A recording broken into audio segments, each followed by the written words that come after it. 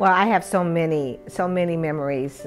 Kwanzaa activities, the kids going to all their different uh, groups activities and when they got to be teens and moving on to that. But what's really great now is that so many of our family memories are now tied to Jack and Jill.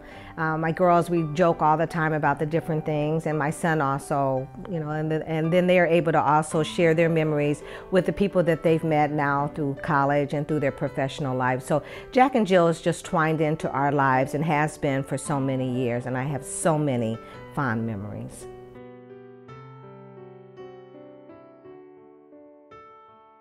I'm one of those kind of people where I'm, I'm wired to raise my hand, say I'll do it.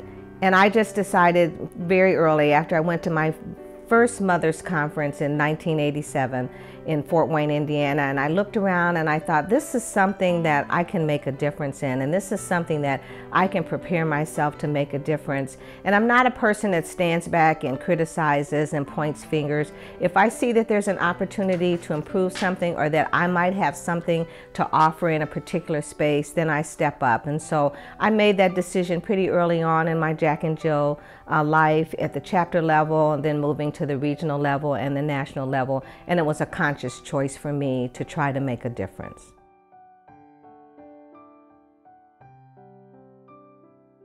Well, my presidency, I think, was probably unique. Uh, I had certainly had some unique challenges that other presidents might not have experienced.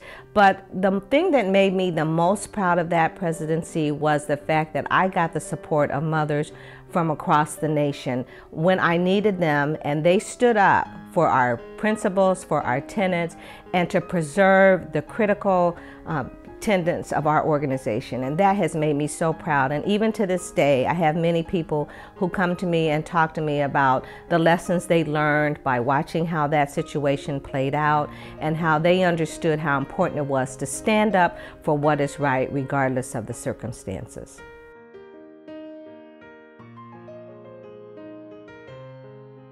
Well, I, you know, when I looked at that question, I was reflecting back. I remembered that down in my basement, uh, in some of our archive materials from the Ypsilanti chapter, is a letter from the national vice president about the Ypsilanti chapter being uh, accepted for um, being a, a provisional chapter, and it was a carbon copy letter.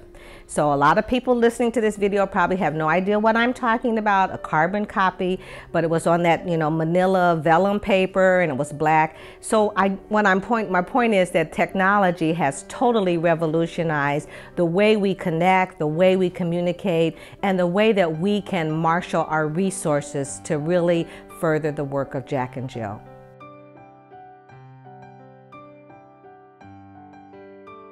Well, I know we've gone through a lot of cycles. There have been times when people have questioned the relevancy of Jack and Jill, but I have continued to maintain it is even more relevant now than it has ever been. And even what has happened in the last couple of years has made it more so. It is critical that we continue to commit to our children and raise them to know that they can do and be and achieve anything if we work together. And that is just so critical right now because we are in a time where our people are being marginalized, our people are facing so many challenges. And when I say our people, I'm talking about our people universally, our global people. And we need to continue to raise our children to be able to stand in the gap and to continue to serve and to represent ourselves in this critical time. And we are certainly more relevant than we have ever been.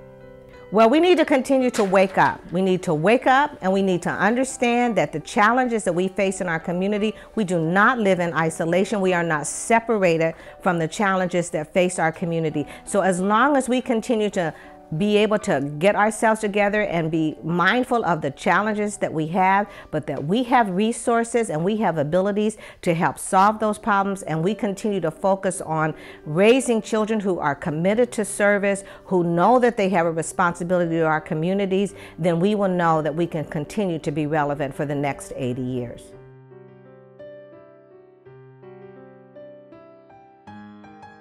Well, it's absolutely critical. Um, I think the, the legislative component that we do, the On the Hill summits that we do, the state focus, but we've got to take that to another level. We've got to really foster our children to understand it matters who's on the Hill. So if we don't continue to mobilize and understand that voting is critical, voting in our communities is absolutely essential. I really believe that Jack and Jill needs to stand up. When I was uh, on the national board, there was a big focus focus on seatbelt safety. Uh, Jack and Jill says buckle up, but Jack and Jill better register and vote. Jack and Jill says register and vote.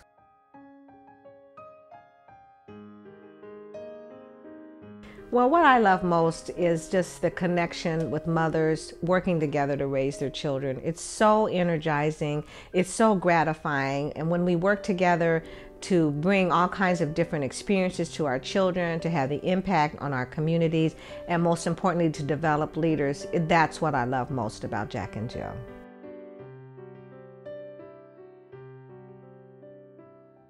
Well, for me, I just really wish that we would continue to really realize we have so much power. If we would marshal our resources for the positive focus that we can do and stop with all the distractions and anything that would deter us because people want us to be distracted. It's better for them if we are not focused on our mission and we are not focused on our children. I really, really pray and hope that we would continue to focus on the positive things and see all of the advantages that we have and the differences that we can make for our own children and for the wider community. I really hope for that to be the future of Jack and Jill.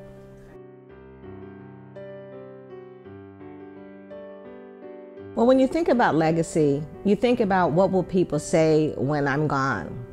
And for me, the most important thing that I would like for people to be able to say about Alice Leigh Peoples is that she honored her commitments.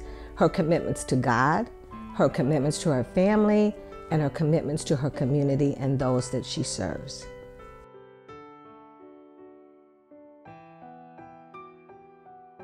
Well, that's pretty easy. Jack and Jill stands for children.